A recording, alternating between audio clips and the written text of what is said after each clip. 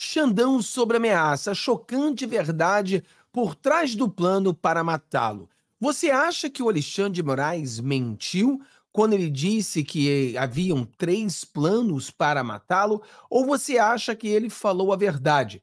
Qual a sua opinião sobre isso? Meu nome é Fábio. Se você não deu o seu joinha, dê o seu joinha, compartilhe esse vídeo com todos os seus amigos, joga no grupo do WhatsApp, Telegram, porque o nosso vídeo de hoje vamos mostrar para você o que realmente aconteceu ou o que realmente pode ter acontecido quando Alexandre de Moraes diz que ele tinha esses três planos que supostamente queriam matá-lo. Então inscreva-se no canal se você não está inscrito ainda, dê essa força pra gente. Vamos direto ao assunto sem muito lero-lero. Bom dia, galera, muito bom falar com vocês, tá? É legal estar tá aqui todo dia às seis da manhã batendo esse papo. Lembrando a vocês que voltaremos às 15 horas com a nossa live aí de uma hora, uma hora, uma hora mais ou menos de live. E depois a gente pega aí mais ou menos 30 minutos, uma hora, respondendo todas as perguntas que você possa ter sobre a política brasileira, a política americana, sobre tudo o que está acontecendo. Vamos lá. 8 do 1. Moraes diz que golpistas tinham planos de prendê-lo e enforcá-lo. Cara, isso aqui é muito é muito sério, né? Nenhum de nós aqui acreditamos que a violência seja o caminho para resolver algum tipo de problema. Então, uma ameaça dessa tem que ser investigada, porque realmente não existe isso. Nós acreditamos no debate, acreditamos na discussão, mas não concordamos ou acreditamos que em violência você resolva qualquer tipo de coisa, né? Então somos totalmente contra eh, esse tipo de atitude, se, claro, foi verdade. O ministro do STF, Alexandre de Moraes, explicou que golpistas do dia 1 tinham três planos para ele, se tomassem o poder naquele dia. Vamos lá. O ministro do Supremo Tribunal Federal, Alexandre de Moraes, afirmou que após um possível golpe de Estado durante os ataques antidemocráticos do dia 8 de janeiro, existiam três planos em relação a ele. Um deles consistia em prendê-lo e enforcá-lo. O terceiro plano defendia que, após o golpe, eu deveria ser preso e enforcado na Praça dos Três Poderes, para sentir o nível da agressividade e o ódio dessas pessoas que não sabem diferenciar a pessoa física e da instituição afirmou o ministro Alexandre de Moraes em entrevista ao Jornal da Globo. Eu acho que, honestamente falando, muitas das vezes, quem não entende a diferença entre os ministros né, como pessoa e, no caso, a, a instituição, são os próprios juízes e ministros da Suprema Corte.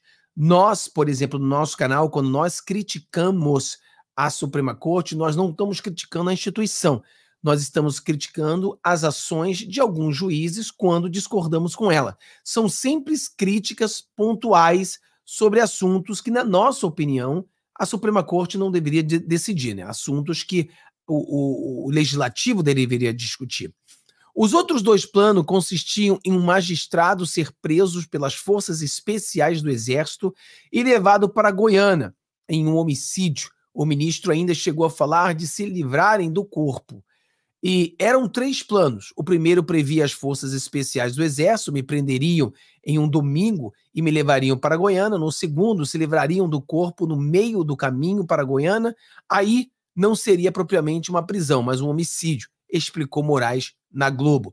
Moraes disse que há um inquérito para investigar o planejamento dessas atividades, com possibilidade de desenvolvimento da Agência Brasileira de Inteligência, ABIN. Houve uma tentativa de planejamento, inclusive há outro inquérito que investiga isso, com a participação da ABIN, que monitorava os meus passos para quando houvesse necessidade de realizar essa prisão, afirmou. O ministro afirmou também que sua segurança é a mesma desde que assumiu a Secretaria de eh, Segurança Pública de São Paulo, em 2014, que apenas aumentou a proteção em relação à própria família e voltou a reafirmar a necessidade de regulamentação das redes sociais. Já começa, né? Moraes é, relembra o dia 8. Na entrevista, Moraes lembra que estava em Paris naquele fati fatídico dia. Então aqui a gente entende que o Alexandre de Moraes, ele mesmo confessa que ele estava em Paris, ou seja, ele estava na França naquele dia. Então aí eu começo a ter os meus questionamentos com o Alexandre de Moraes sobre esses planos. Nós temos que entender que ele diz que havia planos. O que é um plano? Quando você planeja uma coisa, é tudo orquestrado, existe A, B, C, tudo colocado, organizado para que algo aconteça. E eu tenho grande dificuldade para acreditar que realmente havia um plano. Por exemplo, quem é que ia planejar prender o Alexandre de Moraes quando Alexandre de Moraes estava em Paris, na França? Que plano é esse que não sabia que ali não estava Alexandre de Moraes? Então, o que eu acho, claro, não tenho acesso aos inquéritos, não tenho acesso às investigações, então eu posso falar do que eu acho. O que eu acho e que é fato, o Alexandre de Moraes não está mentindo sobre as ameaças. Mas nós temos que ter a capacidade de ver uma ameaça, investigar a ameaça, para saber se de fato é uma ameaça ou é uma bravata. Porque eu, como sou uma pessoa da internet e sou um youtuber, eu tenho muitas pessoas que me ameaçam os bravateiros. Mas me fazem ameaça. Então é lógico que existem pessoas que ameaçam o Bolsonaro, que ameaçam Lula, que ameaçam os deputados, que ameaçam Alexandre de Moraes. Então, essas ameaças, eu acredito que não seja mentira. Acredito que tenha muito mais do que três ou quatro ameaças ao, ao, ao ministro.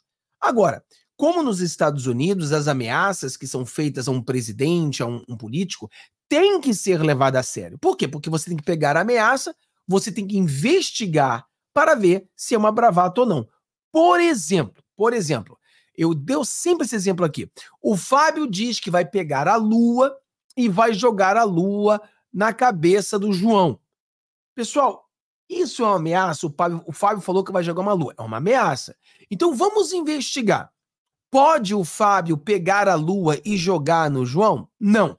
Então, isso se torna uma bravata e não uma ameaça de verdade. Por exemplo, quando ele diz assim que as forças espe especiais iriam prendê-lo, na minha opinião, uma pessoa, um aloprado, um nervosinho, as pessoas que usam fígado podem ter dito: "Ah, a gente quer que as forças especiais vai prendê-lo. Ou acredito, por exemplo, uma pessoa como a Ana Priscila, né? A Ana Priscila maluca que levou é, muitas pessoas para perdição lá em Brasília, né? Ela tinha um grupo gigantesco, levava as pessoas, enganava as pessoas, de inventou essa história de de intervenção militar com Bolsonaro no poder. Você sabe que intervenção militar é um crime, não existe na nossa Constituição, e tampouco existe é, intervenção militar com Bolsonaro no poder. Então, o que, que essa Ana Priscila, junto com esse tal de Frazão e todo aquele aqueles é, aloprados junto com eles, o que eles queriam era realmente dar um golpe no Bolsonaro. Eles queriam botar os militares no poder e tirar o Bolsonaro, dar um chute na bunda do Bolsonaro. Por quê? Porque não existe intervenção militar com o Bolsonaro no poder. Seria uma intervenção militar se eles realmente conseguissem o que eles queriam e Bolsonaro estaria de fora desse jogo. Entendeu? Então eu acho que esses aloprados seguidores da, da Ana Priscila, a própria Ana Priscila, é alguém que poderia estar fazendo essa bravata. Ai, quando chegar em Brasília, as forças especiais vão prender o Alexandre de Moraes. Então, por exemplo, o que é isso? É uma ameaça? ou é uma bravata? Se é uma pessoa falando sobre as forças especiais, mas não tem ninguém, nenhum comando da força especial falando isso, então é uma bravata. Não, não é nenhum tipo de ameaça. Agora, se a polícia investigar e encontrar que os, o comando das forças especiais realmente planejavam fazer isso, ok, eu quero ver o plano, né? Como que foi planejada a hora que iriam chegar, por onde iam entrar, por onde iam prendê-lo, como iriam prendê-lo, sem que todos nós sabíamos, eu e você, todos nós sabíamos que ele não estava ali. Por isso que eu digo que esse plano, fica difícil a gente acreditar num plano, porque ninguém estava ali no domingo. Então como é que você fazer um plano para prender o Alexandre de Moraes, sendo que o Alexandre de Moraes ali não está? É uma ameaça telepática, né? uma ameaça através de telepatia. É uma ameaça através de voodoo. Tem um bonequinho do Xandão, o cara fica empiando o, o, o alfinete nele. É, o que, que é? O que, que, tá, que, que, que plano é esse? Então, são esses questionamentos que nós precisamos fazer. Precisamos tentar entender esses questionamentos.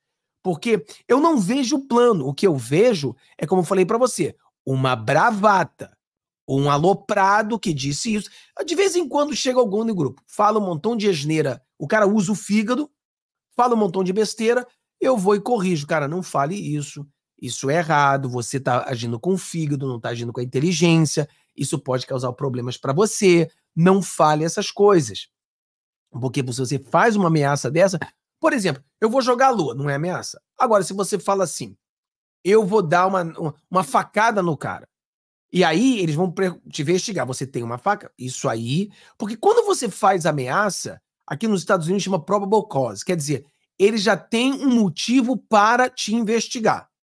Então, qualquer pessoa que esteja na internet faça qualquer ameaça a uma autoridade ou a qualquer pessoa, ele já abre a porta para que possam investigá-lo. Investigando, eles conseguem encontrar indícios de que aquela ameaça poderia se tornar verdadeira, aí você está preso. Imagina uma pessoa diz que vai dar um tiro em alguém e ele está com uma arma na mão. Então, isso aí é algo que realmente pode mostrar que ele realmente tinha a intenção de fazer aquilo que ele estava dizendo. Então é preocupante. Vamos lá. Vamos lá. Na entrevista, Moraes lembra que estava em Paris naquele é, é, fadítico dia. O filho mostrou para ele imagens da invasão e o ministro imediatamente ligou para Flávio Dino, ministro da Justiça, e é, Flávio Dino, ministro da Justiça, perguntando como aquilo tinha acontecido se estava proibido a entrada de manifestantes na esplanada.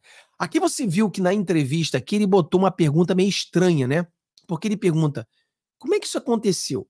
Então é claro que só aconteceu no dia 8 porque o Flávio Dino cagou. Ou seja, ou o Flávio Dino ele é um incompetente, porque realmente é um incompetente, ou ele realmente facilitou a entrada, mas ele errou por omissão. Nós todos sabemos que o Flávio Dino foi omisso. O que a gente não sabe se ele foi omisso por ser um incompetente ou se foi uma jogada a omissão dele. E lembrou que o problema começou ao deixarem os radicais se reunirem em frente de quartéis generais. Você sabe que no meu canal eu sempre fui contra essas pessoas irem para as portas dos quartéis. Sempre falei a vocês desde o primeiro dia que essas pessoas foram às portas dos quartéis. Quase todos os quartéis tinham faixas dizendo intervenção militar. Eu falei para as pessoas que intervenção militar é inconstitucional, seria um crime. As pessoas deveriam parar disso e não deveriam estar nas frentes dos quartéis. Mas eu fui ignorado, xingado, atacado, ameaçado, e as pessoas preferiram dar ouvidos a Ana Priscila e o maluco do Frazão do que as pessoas que estavam falando para ela a pura verdade. Né? Infelizmente, muitas dessas pessoas foram até a Brasília seguindo a Ana Priscila e ali se ferraram, né? Se ferraram junto com a Ana Priscila. Isso é um problemático, um problemaço, né? Foi um erro muito grande das autoridades deixar, durante o ano passado, aquelas pessoas permanecerem na frente dos quartéis. O mais interessante aqui para o Alexandre de Moraes, eu gostaria de, de, de ensiná-lo ou corrigi-lo. Alexandre de Moraes, as pessoas não estavam nas, frentes dos quartéis só em 2022. Quando Lula ganhou as eleições e subiu a rampa no dia primeiro a subir no poder, as pessoas também estavam nas frentes dos quartéis. Ficaram às frentes dos quartéis até o dia 8, quando deu a merda. Então, não é só a liderança passada, o governo Bolsonaro. O governo Lula também fez a mesma coisa. Isso é crime e agora não há mais dúvida disso. O Supremo Tribunal Federal recebeu mais de 1.200 denúncias contra quem estava acampando pedindo golpe militar, tortura e perseguição de adversários políticos, apontou. Bom, eu não sei sobre tortura e perseguição de adversários políticos, porque eu nunca estive nas portas dos quartéis, sempre falei para você não ir. Mas pedindo golpe militar, eu vi várias pessoas da porta do quartel pedindo isso. O ministro Acredite que, com a posse de Lula, foi tranquila. As autoridades ficaram otimistas. O grande erro doloso foi permitir a entrada dos golpistas na esplanada dos ministérios. O dia 8 de janeiro foi o ápice do movimento, a tentativa final de se reverter o resultado legítimo das urnas, opinou. Então você vê que, por exemplo, na questão de chamá-los de golpista, se você vê o pessoal da Ana Priscila, esse pessoal intervencionistas, realmente eles tinham na cabeça deles é basicamente a mesma coisa que a gente falou. Uma ameaça pode ser uma bravata. E a mesma coisa, várias pessoas que estavam ali no dia 8, com a Ana Priscila, eles acreditavam em um golpe. Eles acreditavam que as Forças Armadas estariam com eles para dar um golpe. Mas esses eram aquelas pessoas junto com a Ana Priscila. Já as outras pessoas que ali estavam, que não entraram, não invadiram e não apedrejaram, elas não pensavam assim. Pensavam outras coisas. Eu nem sei o que elas estavam fazendo ali, é o fato. Mas mesmo pensar isso não se constitui a crime, porque eles estão pensando algo que está totalmente fora de uma realidade. Só porque uma pessoa ela pensa ou deseja que isso aconteça, não quer dizer que isso vá acontecer ou que tenha menor chance disso que aconteça.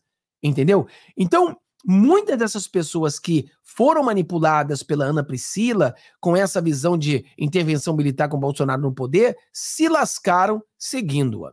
Moraes disse que foi um acerto do governo federal não decretar o plano de garantia de lei e de ordem, GLO, ele argumenta que, durante as invasões e interro interrogatórios sobre o assunto, financiadores e participantes tinham plano de invadir o Congresso e ficar lá até que uma GRO fosse estabelecida e o exército fosse tirá-los. Então, tentariam convencer os militares de um golpe. Ou seja, aqui já vi que eles tentariam convencer os militares de um golpe. Então, não existiu uma tentativa de golpe não é? Porque eu vou tentar. A pessoa, uma pessoa chega e fala assim: eu vou pegar uma, uma bomba atômica e jogar em Brasília. Porra, essa pessoa não tem bomba atômica, então isso não pode ser uma ameaça, isso é uma bravata. E a mesma coisa, ah, ele foi uma tentativa de golpe. Como foi uma tentativa de golpe se eles estavam tentando convencer os soldados a dar o golpe?